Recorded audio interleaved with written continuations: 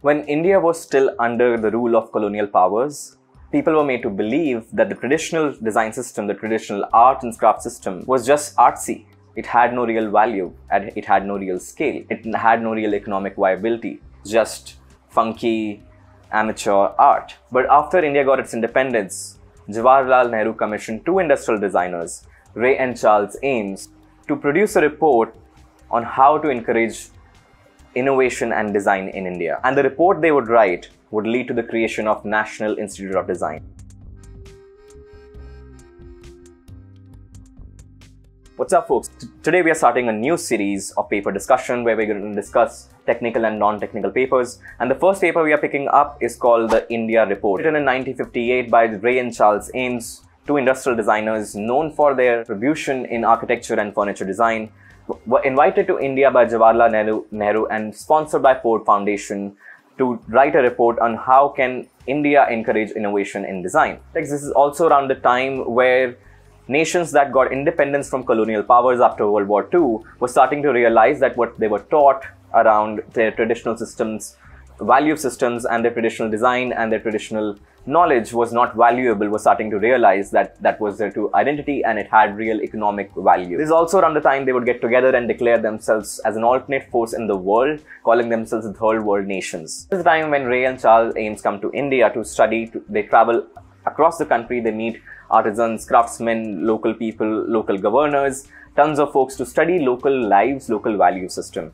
What the government was perhaps expecting was a report on feasibility, was a report on what is possible in India, that probably we should focus on some things earlier than the other. But what they got instead was a very different report.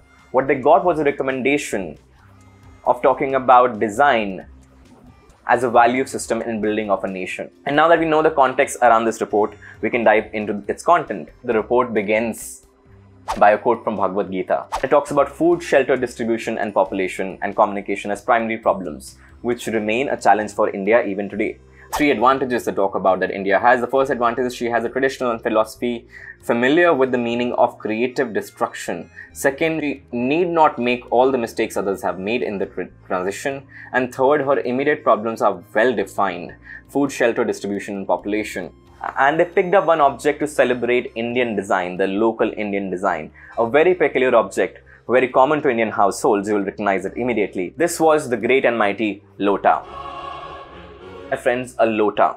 Go on to go in great lengths to describe point by point the technical specification that goes into making a lota and the versatile uses it may have because of it. Of all the objects we have seen and admired during our visit to India, the lota, that simple vessel of everyday use, stand out at perhaps the greatest, the most beautiful. The village women have a process which, with use of tamarind and ash, each day turns this brass into gold. Of course, they're talking about glorifying the washing of the lota. But how would one even go about designing a lota? First, one would have to shut out all preconceived ideas on the subject and then begin to consider factor after factor the optimum amount of liquid to be fetched, carried, poured, and stored in prescribed set of circumstances. And then they go on to describe all the criteria that a lota would have to meet. And then they go on to argue that no one person could have done lota design in this paragraph, saying no one man designed the lota, but many men over many generations, many individuals who represented in their own way through something they may have added or may have removed or through some quality of which they were particularly aware. Of course, we see Lota as a basic concept turned into multiple kinds of objects from Gada Surahi, and that shape turns into multiple usable objects till today. That's what they celebrate as Indian design. At this point, the report goes on to make two important recommendations one of setting up an institute for design, and goes on to describe what kind of people should be there that should teach in that institute and what kind of student it should take. One of the most interesting parts to me uh, when they were talking about the institute was how they recommend we should measure the effectiveness of this institute. And they go on to say effectiveness will vary as the square of the caliber of the staff it attracts and as the cube of the degree to which the staff and student become personally involved.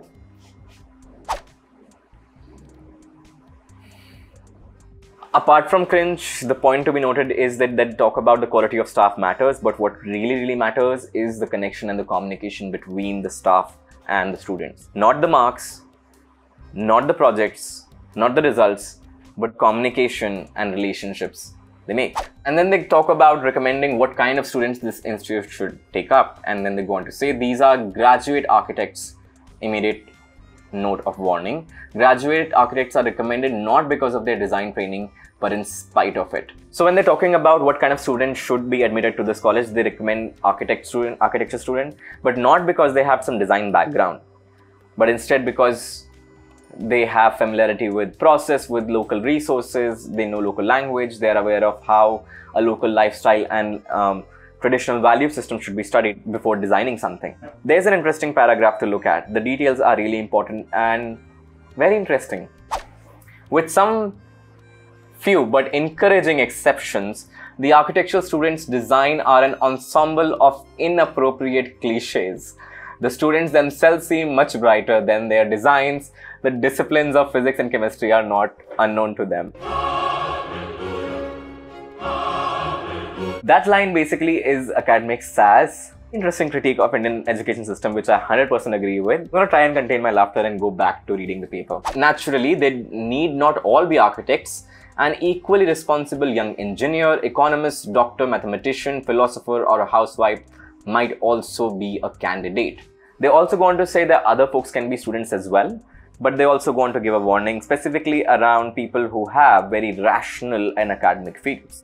Warning in selecting candidates for these posts, one must be extremely careful about applicants discontented with their present work or anyone who would look upon the work in the institute as his chance to be creative.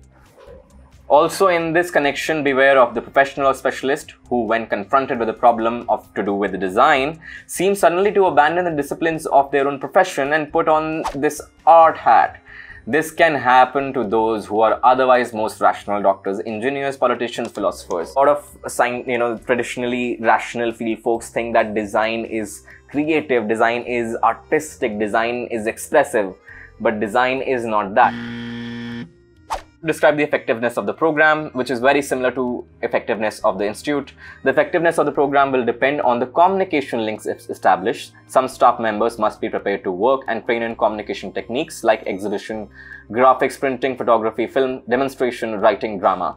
Through these devices, the institute will communicate to itself and to the nation. So, are they successful? Is this institute doing what they were supposed to do. They talk about the director of institute should perhaps not be a professional designer. He should weird usage of word. I hope they meant it generally like he or she. He should be a mature man. Okay. And then it goes on to recommend project. And specifically, four projects it recommends that, that that institute should run. Project number A is about studying the standard of living. Go to local areas of India, study what local value system is, and define standard of living that can be shared across the country. Project B talks about examining old problems like food and shelter in new light, in new technology and new innovation. Project C talks about setting up standards for services and products that can be standardized across the nation and yet remain flexible to requirements, the local requirements in realities of the country. And they go on to give post office as, as a brilliant example that we all can send certain kind of mail, telegrams, speed post, but Post offices change location to location, cover a vast number of area and are highly versatile in what kind of people they employ, how much employment they have, what kind of services they have, what is the frequency of services they run. So that they go on to give that kind of example. And we see that to be true till today, where we see not only shampoos and toothpaste coming in sachet in small quantities for certain populations and areas, but we also see loans coming in sachets. Project D talks about creating a symbolism, a symbolic identity, a visual identity for India that Indians, all Indians can identify to. And that pro project goes on till today. It's an ongoing project. Right from Ashoka Chakra, Tiranga to the rupee symbol and the UPI symbol, all of these are national symbols. All of these are symbols that are still being designed, being improved on, being iterated, and they all enforce the national identity. So these are the four important projects that the report talks about. And this paper three years later led to creation and establishment of National Institute of Design. The interesting part is that the paper recommends that the institute should come under Department of Communication, Department of Ministry of Corporate Affairs, but NID, National Institute of Design, actually comes under Department of Scientific and Industrial Research, under Ministry of Science and Technology, under Government of India.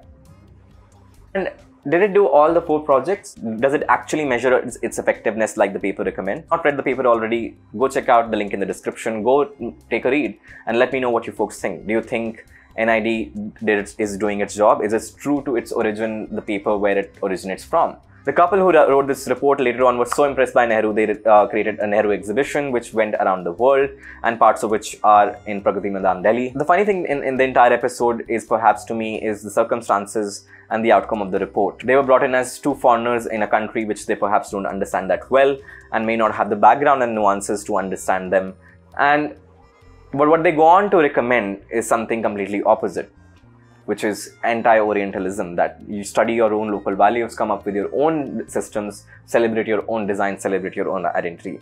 So three things. Do read the report. Let's talk about what you think. What are the specifics of the institute that you like and the projects that you like? Did they really happen? How true is, true is the institute to the report that started it? And should it have been or not? And the last thing, what are the next paper we should discuss in this series? Thank you so much for watching.